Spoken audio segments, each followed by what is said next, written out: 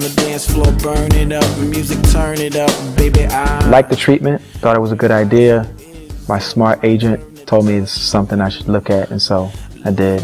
Turns out that he was right. The overall idea is that Pharrell's making a track in his mind, auditioning, adding, subtracting instrumentation to get to the final goal of this track that then gets dropped in the club. What really works the best is when opposites attract. When one person is one particular way, but then somebody else is bringing a very different mix together, and you kind of slam it together. You, you know, it's like, it's like Reese's cups. You know, peanut butter and chocolate. It's just, there's no other way to eat that, right?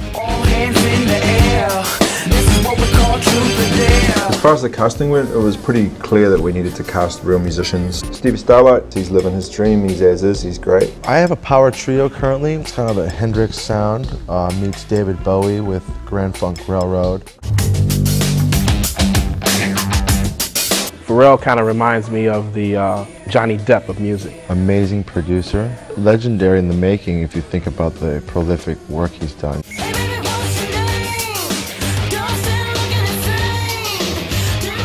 You it. But the most exciting part for me is still the purity of the blank canvas.